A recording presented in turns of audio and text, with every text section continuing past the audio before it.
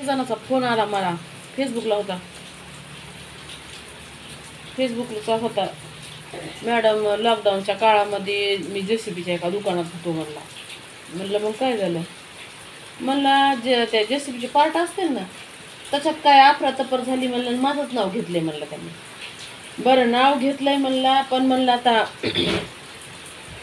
त्याचे अफरातफर काय झाले असं आता मी एकटाच नव्हतो ना म्हणले त्याच्यामध्ये. आणखीन लोक होते त्याच्यामध्ये. पण सामान दोन लाखाचं गेलंय म्हणला. मला एवढं कानाखाली मारली म्हणला दुकानदारानं त्या. मारून म्हणला माझ्याकडून मला गाडीत टाकलं. आणि गाडीत टाकून मी दोन एकर जमीन लिहून घेतली म्हणला दुकानदारानं. आणि मी पैसे बी दिले तर. बायको गरोदर आहे म्हणला आता. बायको आडायली नावानं माझ्या. आईला माझ्या छातीचा कॅन्सर झालाय म्हणला गाठ आहे कॅन्सरची तर मी काय करू?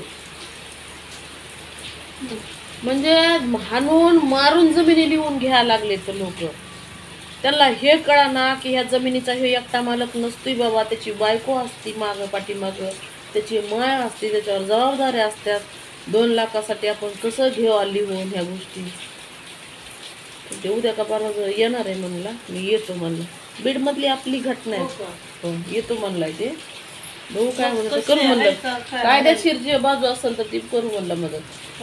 फेर वगैरे झालाय का तर म्हणलं नाही म्हणलं आडवीलाय.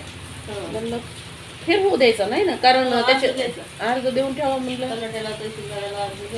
तुमच्या बायकोची सहमती होती का म्हणलं ते विकायला? म्हणलं ती नव्हतीच ना. म्हणलं मग म्हणलं ती कशी विकू देईन म्हणलं जमीन आणि कशी फेर लागू देईन ती बाई म्हणलं. तुमच्या आई आणि तुमची बायको कशी लागू देईन? गरोदर आहे म्हणल्याच्या नंतर दोन एकर जमीन तेवढंच जगण्याचं साधन आहे ना. वडील नाहीत म्हणला मला.